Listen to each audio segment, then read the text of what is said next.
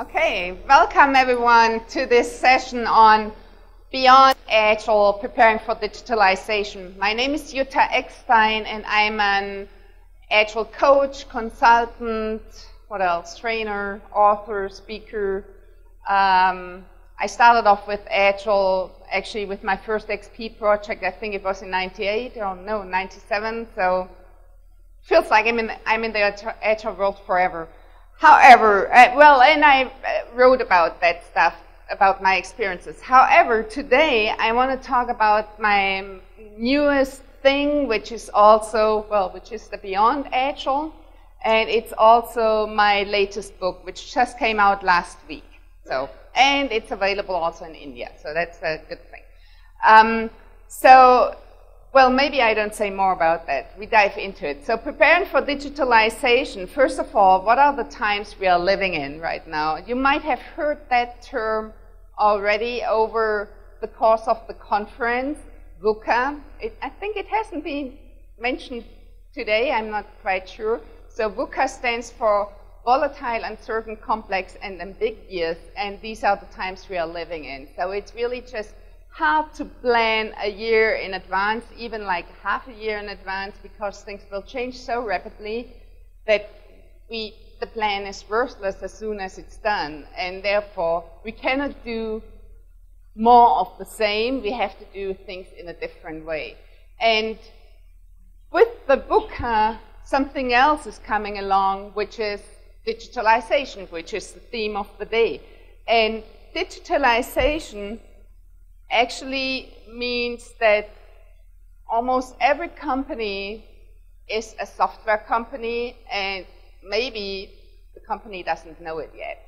So that's kind of the, the big thing here. Now, now in software, we know that Agile is at least the thing people talk about. Some are doing it more or less successfully. However, it's kind of the popular thing in software, which means now software through digitalization is getting more and more at the core of companies means that Agile is getting more and more at the core of companies. So that's kind of the, the thing, which is also a problem because, well, if you look at the manifesto, the, the core values, I assume you all have seen that. Have, who has not seen this? Okay. So I, I don't want to go into that. The thing is, if you look at that, and also even more if you dive deeper into the principles, they have been created all around software. Well, the general mindset, well, general underlying values, they still can be useful, but it's just hard to, to go in companies and say, well, in order for preparing for digitalization, just be agile. And then they take a look at what agile is and they say, well, that's not applicable for us because if we look at the organizational level or at the whole company, not everything we do in the company focuses on doing software despite of digitalization. There's stuff like HR, finance, whatever.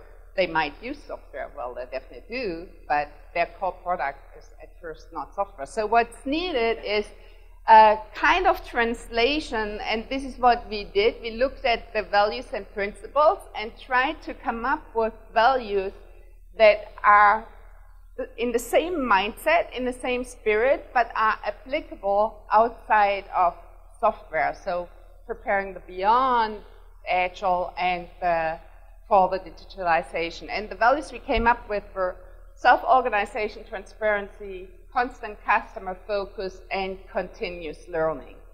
Now, for those values, actually for implementing those, there is a lot of stuff out there. And it's not just we in the agile field thinking of how to prepare for digitalization or for being more agile as a company. Now speaking of the lowercase a agile, so flexible, adaptive, responsive, being able to deal with the VUCA challenges. There are many more. So this is, I'm not sure, probably you can't read it far back and maybe not even really in the front. There, there are really a lot of streams out there and I just want to pick a few like there are some specific implementations like Mondragon, Gore, or Semco in Brazil, Morningstar, we have heard about them, I think, yesterday. Then uh, there are philosophies like what Senge is proposing, or theory, theory U might be something you have heard about. There are facilitation techniques, World Cafe, appreciative inquiry, egalitarian methods, holacracy, a big thing, World Blue, maybe not so known. Um, so there, there is a lot of stuff out there. And so we have dived into that and, and looked at those and took a little bit of a Goldilocks approach. We thought we don't want to go for a specific implementation. For example, what you hear a lot that people say, well, we use the Spotify model. If you ever have talked to Spotify people, they would tell you there's no such thing as a Spotify model because they might talk about it, blog about it, but the soon they are done talking, blogging about it, this thing has changed. And so people just copy like one snapshot of what Spotify is doing, but don't grasp that what Spotify really is doing is changing all the time and not having like this one fixed model. So we just felt like a specific implementation is too specific. And the other thing, like philosophies, they are too generic on the other hand. So it's not concrete enough. Well, they still, it all guided us. So what we did was picking four streams where we thought they will combine address the challenges we are facing. And these are the four streams we were picking. And you see it creates, maybe we picked them because it created that great acronym with Bossa Nova. So beyond budgeting, which is addressing actually more or is coming more from the finance and HR part, then we have open space from the as a facilitation technique, but it's really more like focusing on inspiration. I just in, in a well on the next slides I go briefly into all of those. Then sociocracy, which looks more and um, the power structure in companies and agile, well, I guess you, you know about that. So now briefly looking at this, so this talk is not a dive into all of these streams, right? So just to, to give you a little bit of uh, a background here. So beyond budgeting, despite the name, it's not about budgeting actually. Well, it started in finance, but the core thing is that they say we are a system toward a management model that is more empowered and adaptive. Well, that sounds very agile to me. However, again, they're coming from the finance part, and so the way beyond budgeting says you can implement this is by looking at what's the purpose of a budget. And actually, the purpose of a budget has, is threefold. And we are trying to put all these three purposes normally in one number. And this one number tries to express what are we aiming for, that's the target, then what we think will happen, that's the forecast, and then how much do we want to spend where, and that's the allocation. And so all these three things we put together into one number, and the suggestion of beyond budgeting for providing more flexibility and being able to adapt to change is to separate those out. So we have targets as one thing, and the targets are, at best, that's a recommendation relative. So maybe it's a too simplistic example, but still, I hope it brings the point across.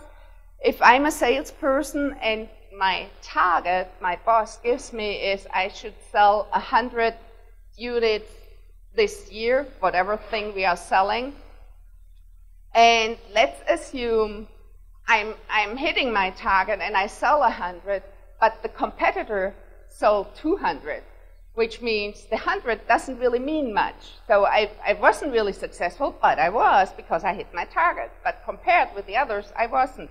And also vice versa, if the competitor only sold like 20, well, wow, I was highly successful. So targets often make only sense, especially in this adaptive, fast-moving world, if they're relative to something else. It could be also relative to our own learning, right?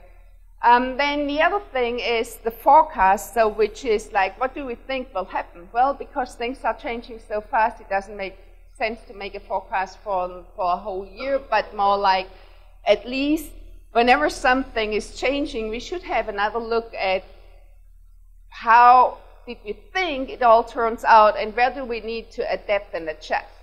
So that's the, the second thing. And then the third thing, and I have to, well, at least it's a warning probably for myself. So when I see resource, and here it says resource allocation, what I think with my actual background, I think resource, oh, somebody uses this bad term for people, and we, we know that people are not resources, they are humans. The beyond budgeting people mean with resource actually the money. So it deals with like where do we spend the money? And of course we can spend the money also on people, so there is a connection, uh, but we can spend it in on all kinds of things. So the recommendation here is to have a dynamic resource allocation, meaning whatever we learn from now the rolling forecast, we make a decision where is it wise for us to spend the money on right? What kind of product or project or however you run your company. And that's the beyond budgeting Now, how am I doing? I don't know. Open space, the, the other stream coming here in it. So let me do a check. Who knows open space? There are some. So open space is actually a facilitation technique, and you heard already one of the principles um, which um, Naresh at the beginning stated, which was the law of two feet, which says, well, whenever you feel like you are in, for example, a meeting where you can't learn anything and you can't contribute to the learning of others, you better take your feet with your brain and go somewhere else because your brain has long gone somewhere else because you're not learning and you're not contributing to the learning. So basically, open space is based on self-organization, or what I learned from the open space experts while writing the book, actually the key word for open space is invitation. It's always based on we invite everyone to contribute, for example, to the learning, but also to contribute with ideas, with, um, well, with their passion into making any kind of difference. So um, maybe I try, try to do this quickly. So open space comes actually from the, hmm, probably the fact that at conferences most is going on in the breaks because there the networking and the deep dives are happening. And because of that, open space took that as kind of principle saying, well, with the law of two you're not waiting, uh, you're not standing with somebody where you feel like, oh, this is boring, so you move on and go somewhere else where it's not boring for you. So you go along with your passion. And you're also standing there as long as you want to, and you're not waiting till the conversation is starting, you just started. And you are not waiting till the right people are there, you're just talking to the people who are there. So everyone is the right people. So these are kind of the basic principles of open space. So the, the, the one thing now, taking this on an organizational level also means that maybe you've wondered about that, that passion is bound by responsibility. So it doesn't mean everyone can do just anything. It means it's bound by the responsibility, which is the overall strategy of the company. But anyone can suggest anything. And just give you maybe one example, which is um, Valve, which is the the company being implemented using OpenSpace. It's a company producing games. And they are just saying everyone can suggest a new product. And um, if there are enough other people who have interest in building that product, they are just building it. But if there are not enough people building that product, it will not happen. So that's open space. Then sociocracy is um, mainly based on equivalence. It looks at the power structure and tries to make decisions in a shared, decentralized way. So there are two key things. The one is making decisions based on consent, which says like, okay, we are asking for acceptance and not for agreement. So it's more, can I live with a decision and not am I in favor with the decision? So that's compared to consensus. And um, to yeah, and the other quick, the other kind of key thing is embed feedback in the organizational structure, which is called double linking. So from every level in the hierarchy, you have people elected as representatives, which will be one level in the hierarchy higher up and represent the team group below or unit below, which means the double linking um, solves that separation of concerns you see with sandwich positions we often characterize middle management with. So middle management often where we say, okay, they need to ensure that the decisions that they made top down are ensured there, but also they have to speak for their own group or unit. So they're kind of squeezed in the middle. That's why that sandwich position is coming from. And so we want to separate this out. There's one is the appointed manager, is just a regular hierarchy, and the other one is the um, from the bottom up, that's the double link building in that feedback. Okay, and then there is Agile, and Agile is basically continuous learning through feedback, so making this quick. And so the, the key thing with that is a plan to inspect, adapt, and I assume you all are aware and know about Agile, so I don't want to dive more into that. But those four streams together, they provide basically the implementation for those values. So transparency is create transparency, I'm reading that out, for all involved in two directions, by providing information and lowering the barrier to those seeking information. So it's no like hiding information because of maybe I want to protect my power, but if somebody need, needs the information, I provide it. So it's both ways, providing it and seeking for it. Then continuous learning, always learning, contribute to others' learning, get feedback and adapt. We have constant customer focus. We have heard that, especially two days ago at the Business Agility Day, that the customers in at the core of business agility. So focus wide on every aspect of the company, product and process, structure and strategy, individual contribution and people. They are all focusing on the customer. Then self-organization, which is use accountable cross-functional teams that select themselves and follow their passion with responsibilities. So it all kind of brings those four streams together. Now, this is how those four streams build in or implement those values. There's actually more to it, which is that bringing those two, to, those four together also changes the way we actually should look uh, yeah look at the organizational charts. And this was kind of a surprise for us when we were were um, looking into that stuff. So the basic classic way of looking an org chart is like well the shareholders are in control. Then we have the board and um, I have to quote my my colleague co-author John Buck here he often has that nice saying, well, the board is kind of sitting on a veranda and surveying its property. And the property is like the support service teams, like HR and finance and so on, and then there's production. So that's kind of how it uh, is laid out. Now, one, one problem which has nothing to do now with the whole bossa nova, but it was something that came up for us, is that for organizational charts, they actually depict the static structure of a company. And often what we think it also depicts is the dynamics. But that's not true, well, at least not in all ways. So, but what you hear when people think an organizational chart depicts the dynamics is at least I hear that at times. Well, if we would work the way the organizational chart shows how we are connected, nothing will get done here.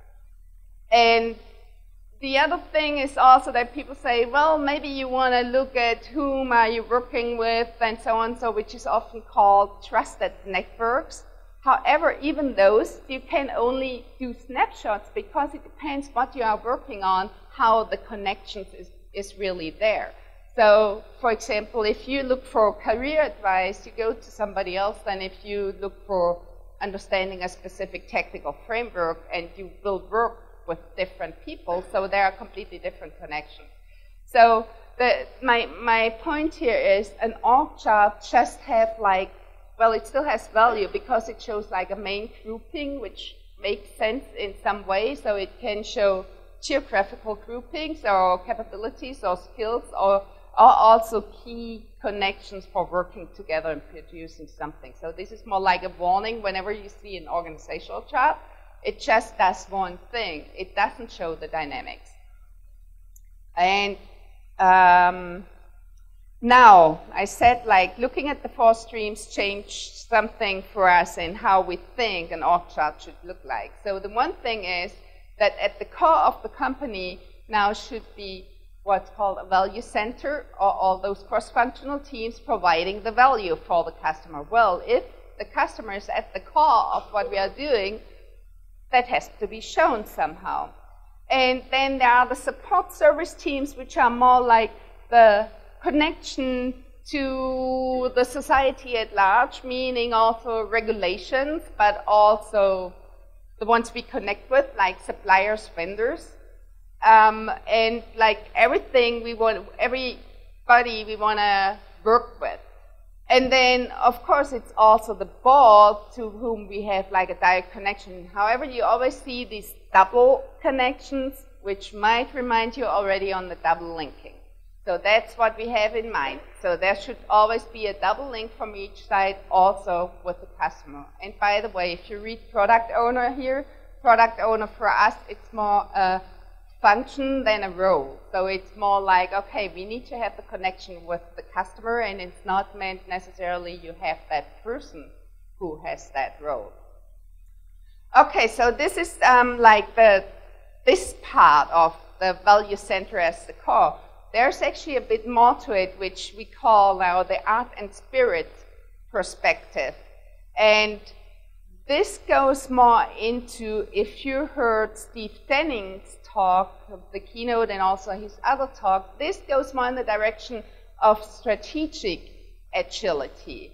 Because now it brings in, which comes actually mainly from open space, so everything around innovation, inspiration, passion, creativity, also more reaching out to the broader community. It could be crowdsourcing, swarming, all this in order to really come up with innovation, which is different than your connection to the customer because you, you know your customer. Now we're talking about art and spirit. We can open up completely new markets. And maybe there, some of them will then be customers later on. So, um, yeah, I guess that's um, that's good enough for here. So, if it all comes together, and still it only has like one one perspective on it and one depiction. And if you would look at how people are working together, you probably would find out there are many more errors going back and forth. But in the in the core of the whole org chart uh, the, is the value center, the cross-functional teams teams providing the value, which is actually the first thought we got from that about that was in Beyond Budgeting. They talk about that a lot. Um, and of course, you probably know in Agile we talk about cross-functional teams too. And then the support service teams, HR, finance, regulation, all of them supporting creating the value. Talk about customer board and then the connection with the art and spirit. However, they are all also connected. That's the dotted circle. So that makes the whole new thing. So, okay, now what does this mean?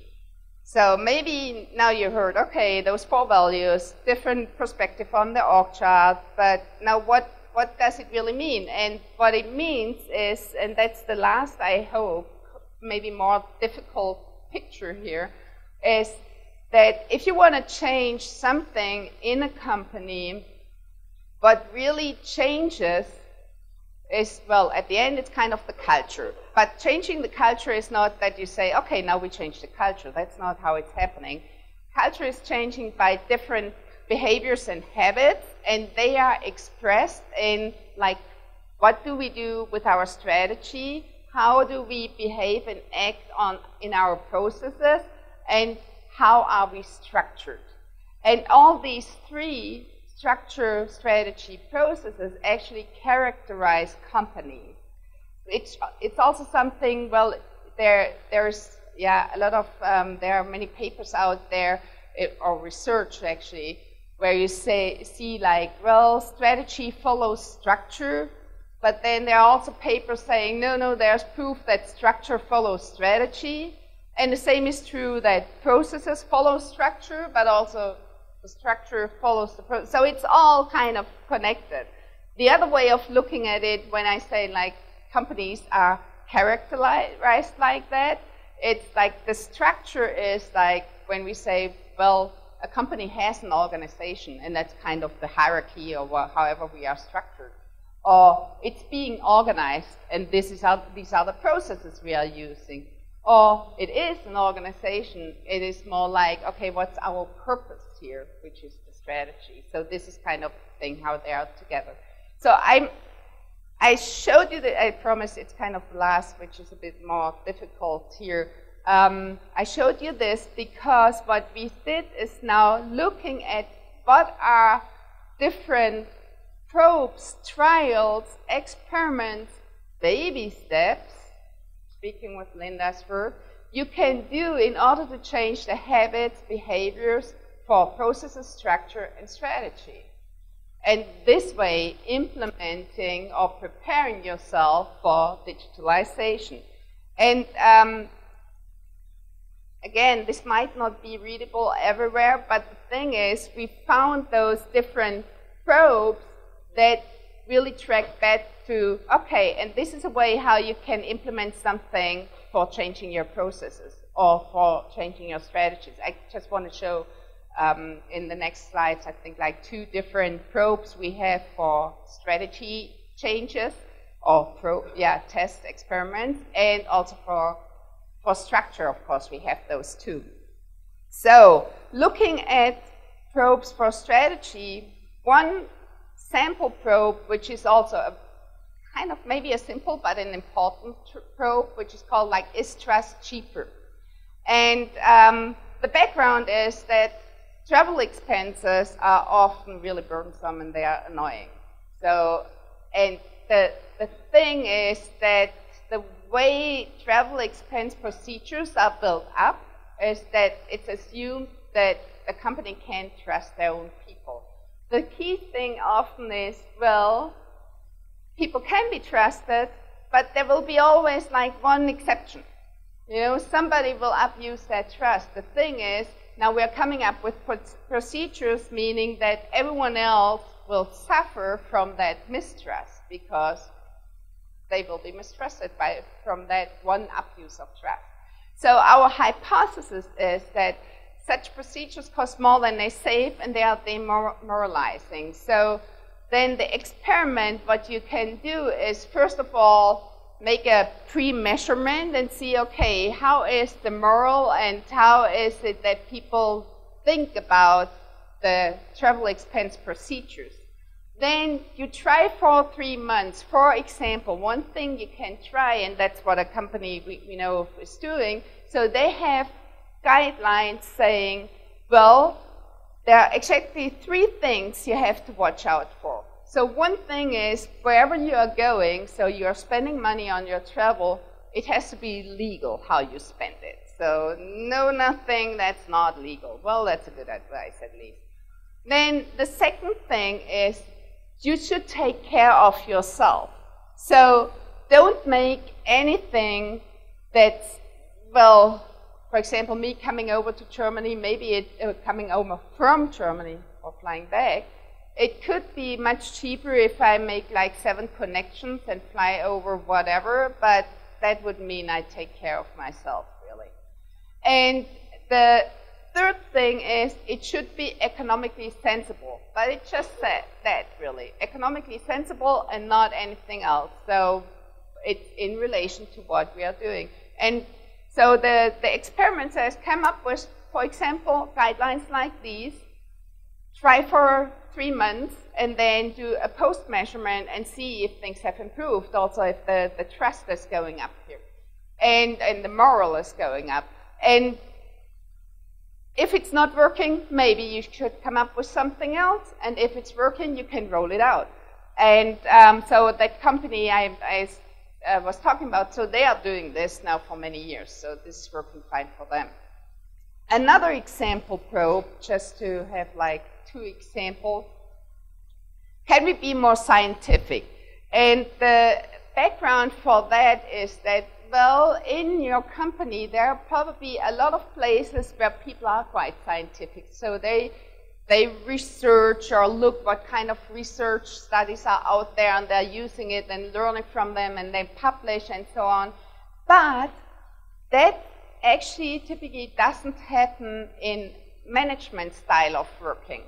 So we kind of the, the intelligence we are creating on the management level is still kept as a secret and even inside a company, every unit starts learning the same lesson.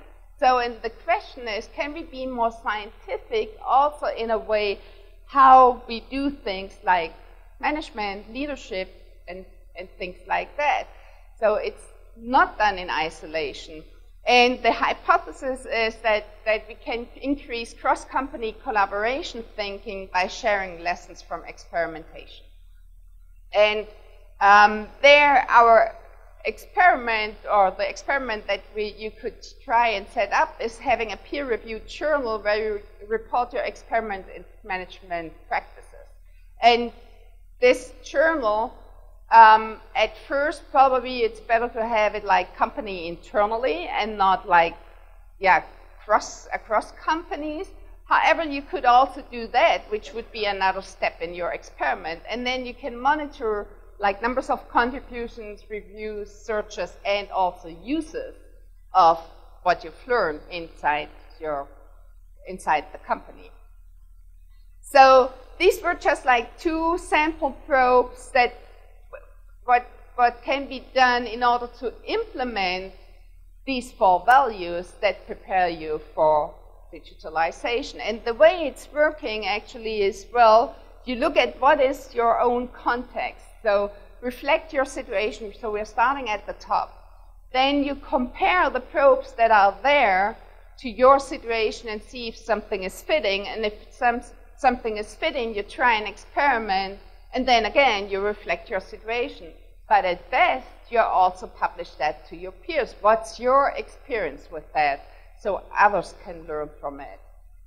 And if you are there, then your next step would be not using the probes that are out there, but kind of doing a same thing, but a little bit different, which is now it doesn't say compare probes, but it says design probes. So come up with their own little baby steps and try those. Run, so again, come up with like, what's the context for it? So that was the background section. What's their hypothesis? What do you want to achieve with implementing that probe? And then pre and post measure and see what you can learn from it.